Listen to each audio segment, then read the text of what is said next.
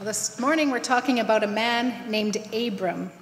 Now, he later on becomes known as Abraham, and his wife, who at this point is called Sarai, becomes known as Sarah. And I'm just going to warn you, I'll probably go back and forth in referring to them in our uh, when I preach today, because I'll probably forget to call him Abram all the time.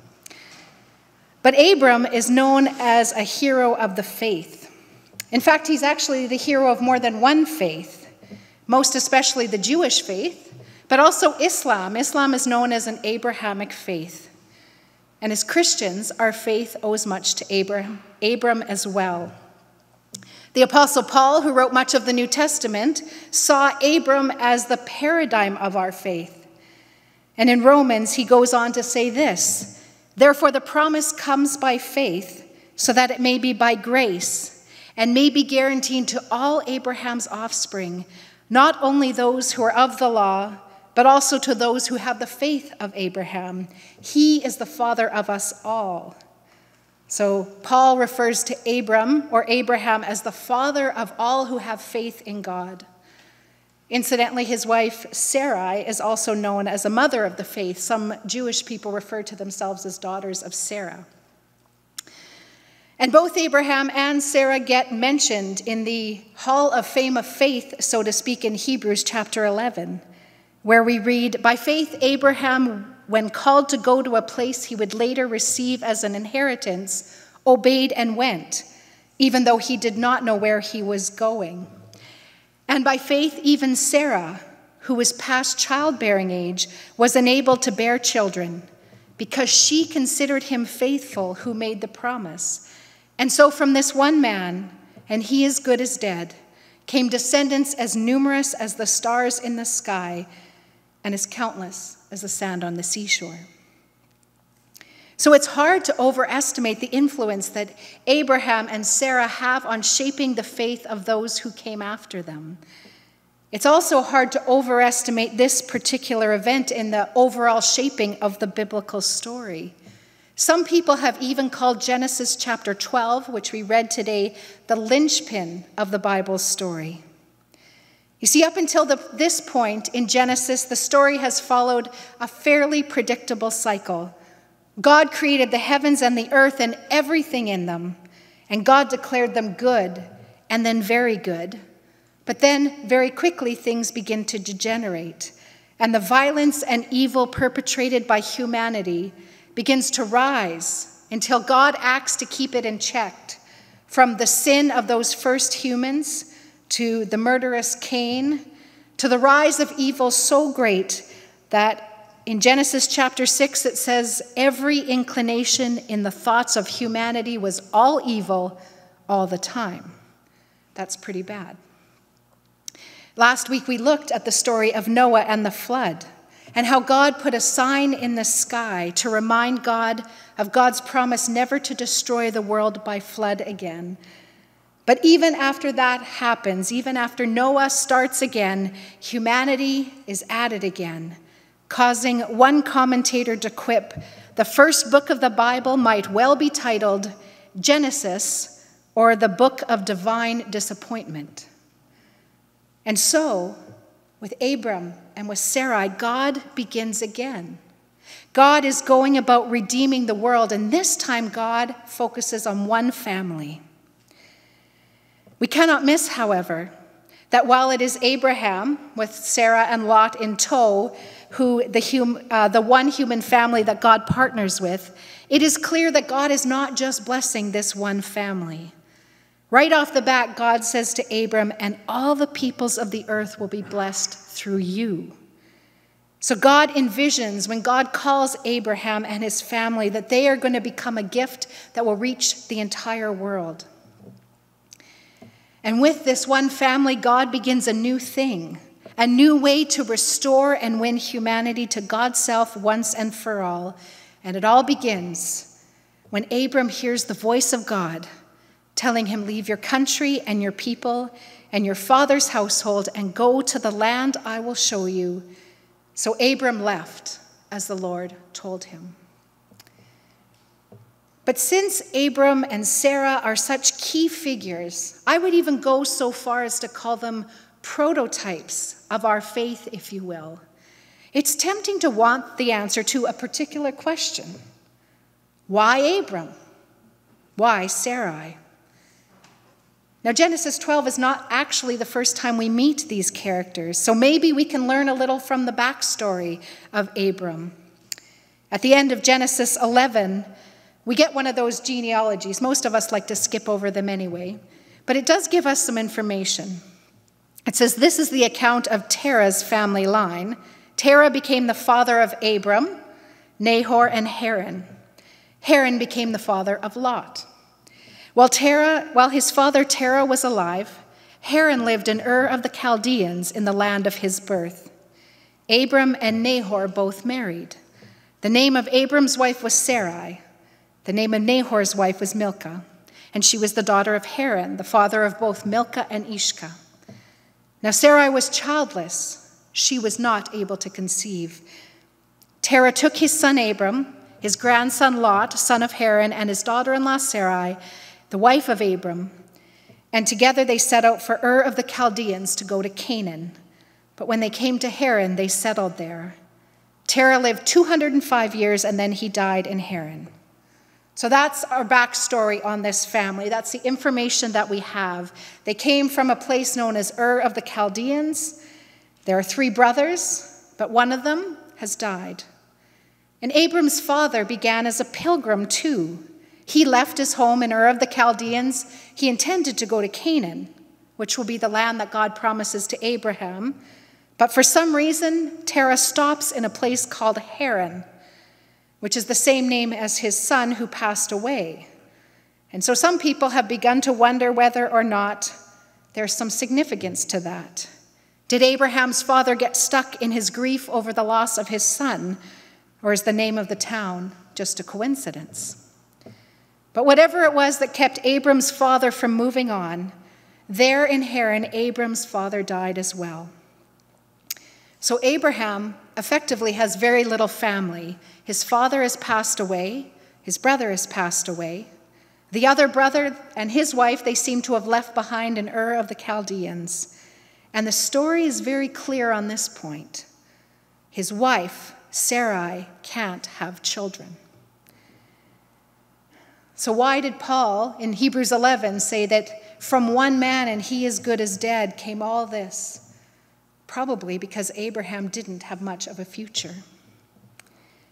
Abram is not said to be particularly religious or righteous. He's not someone who is searching. Nobody says he has great leadership potential. In fact, all we know about him is that he's already married and his wife can't have children. So when God comes to him and promises him land and a family, it actually seems kind of impossible. It is as if this family is at its end. They've lost their patriarch, and Abraham and Sarah don't have much chance of having a family of their own. In fact, this beginning feels a little like an ending. And if you were paying attention, for those of us who were with us this summer when we looked at the book of Ruth, that story began at the end as well. But somehow God brought something from that ending. But all we know about this family before this remarkable call comes to Abraham, when God comes to him with this huge ask, this great step of faith that Abram is asked to take, is that they don't seem to have much of a future. So God is making some pretty big promises to the people who would seem the least likely to receive that which God is promising. But since Abraham and Sarah are the prototypes of our faith, what can they tell us about following God? What can they tell us except that they've already seen their share of tragedy? What was it about Abraham that caught the eye of the creator of the universe? This question is so irresistible that many Jewish commentaries have been developed to explain it, but the text doesn't tell us anything for sure. We might wish to know, for instance, what season of life Abram was in. What was his everyday existence like? What did he do day in and day out when he heard God's voice and he did what God said? What were Abram and Sarai thinking before they packed up all their household wealth everyone and anything that belonged to them, including their nephew Lot, and take it all to a place that they had never laid eyes on before. Did Abram follow God's voice because he couldn't stand another day of the routine his life was locked into for what seemed like forever? Or was he some sort of restless person who always wanted something new? Or was he kind of a play it safe guy and he just out of character decided to risk everything on this calling? Did he talk it over with Sarah and Lot? Or did he just tell them they had to pack their bags and get in the wagon? For that matter, what did Sarah and Lot think about this? Were they sad? Were they eager? Were they a little bit of both? To leave their land and their livelihood and their family and everything they had known? Were they resigned to what Abram told them to do? Did they try to talk him out of it? Did it matter to Abram what they thought at all? But above all, we might wonder how Abram knew it was God's voice that called to him and why he obeyed it. But here's one theory that I have that emerges from this story. When God's voice rings in Abram's ear for the first time, or I suppose it could have been the 50th, we don't know how often God spoke to Abram before he went. He doesn't seem to be chosen for any particular gifts or characteristics that he possesses. Maybe Abram is the model of our faith not because he was so special as to be the only one on the world that God would call, but maybe Abram is special because he responded to God's call and he went. Abram joined God on the journey and he put one foot in front of the other and he started walking. And this makes me think that maybe God's call is big and it is wide and it is actually our response to the call that matters. See, maybe the person of the faith is the one who chooses to go on the journey. Throughout the pages of Scripture, it is not necessarily the most talented or the people who are the biggest or the strongest or the fastest or the most beautiful or the most successful who partner with God. God calls and people follow, and often we don't know why. Noah was brought into God's plan and asked to build an ark to save his family and a selection of animals. But all we know at that point in the story is he was considered more righteous than anyone else in his generation. And at least one commentator pointed out that might actually not be saying that much about Noah, considering the rest of the generation is described as people who thought evil, imagined evil, evil, evil, evil from morning till night so it could be a pretty low bar there. Otherwise, we're not sure about what it was about Noah that was so righteous he caught God's eye, but God called and Noah built. God called Abram and Sarah, and they go. God calls Moses, and Moses follows, reluctantly to be sure, but God even seems to work with Moses' reluctance. When Naomi was without kindred in the world and it felt like God had abandoned her, Ruth, her daughter in law, boldly says, Where you go, I will go. Where you stay, I will stay. Your people will be my people, and your God, my God. And then Ruth refused to abandon Naomi and followed her to Bethlehem. In fact, Ruth's decision to follow Naomi and leave her own land and home and family behind has actually been compared with Abraham's actions here in Genesis chapter 12. When Esther heard about the plot against her people, her uncle Mordecai urged her, saying, Who knows but that you came to a royal position for such a time as this? And Esther eventually responds to him by saying, I will go to the king, even though it is against the law. If I perish, I perish. When Isaiah sees a vision of the splendor of God filling the temple and hears the voice of the Lord saying, Whom shall I send? And who will go for us? Isaiah instantly responds, Here I am, Lord. Send me.